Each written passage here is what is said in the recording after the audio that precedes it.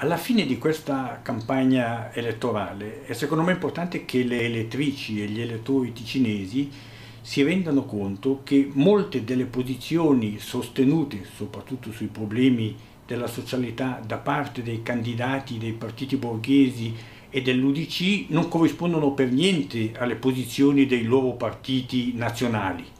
È quindi chiaro che se loro fossero eletti, una volta che saranno nel Parlamento, dovranno seguire quello che dice la direzione del loro partito, per esempio sull'innalzamento dell'età di pensionamento a 65 anni per le donne, a 67 per gli uomini, che qui loro negano, o anche sul problema delle casse malati dove le direzioni dei loro partiti vogliono semplicemente tagliare le prestazioni che vengono pagate ai pazienti. Se parliamo poi della VS, su questo tema si fa del terrorismo, come se la VS fosse veramente eh, alla fine e non invece solida eh, come è. È evidente che noi la VS eh, dobbiamo rafforzarla, ma non perché sta male, ma perché sta male il secondo pilastro che dipende dal mercato dei capitali e quindi tra qualche anno sarà solo la VS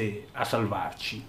Per tutto è importante che gli elettrici e gli elettori si rendano conto che non è vero che la VS sta male perché diminuisce il numero di coloro che lavorano, perché la VS dipende non dal numero di chi lavora ma dalla massa salariale. E quindi basterebbe aumentare un po' i salari, diminuire la sottooccupazione, diminuire il precariato e già i conti della VS tornerebbero ad essere perfettamente a posto.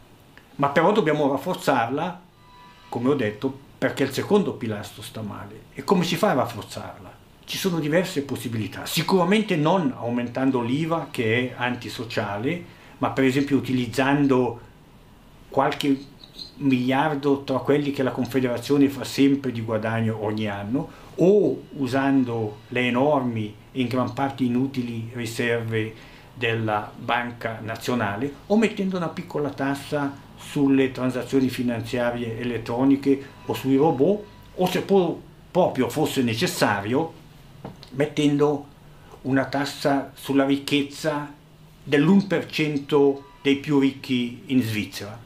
Ma qui soprattutto per l'UDC cade l'asino, perché loro naturalmente vogliono evitare qualsiasi tasso sulla ricchezza degli stramiliardari che dominano nel loro partito. E quindi per evitare questo cosa propongono? Propongono di tagliare di un miliardo l'aiuto allo sviluppo dei paesi poveri, dei paesi africani, dei paesi Sud America. Non stiamo parlando del miliardo di coesione contro il quale anche noi siamo perché andrebbe a rafforzare all'interno dell'Unione Europea i paesi fascistoidi dell'Est. No, parliamo dell'aiuto svizzero ai paesi più poveri del mondo.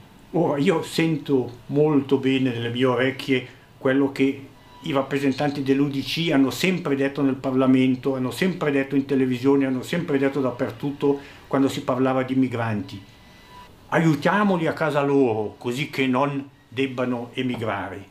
Ora invece di aiutarli a casa loro vogliono togliere ancora un miliardo da quegli aiuti svizzeri all'estero che già sono abbastanza ridotti.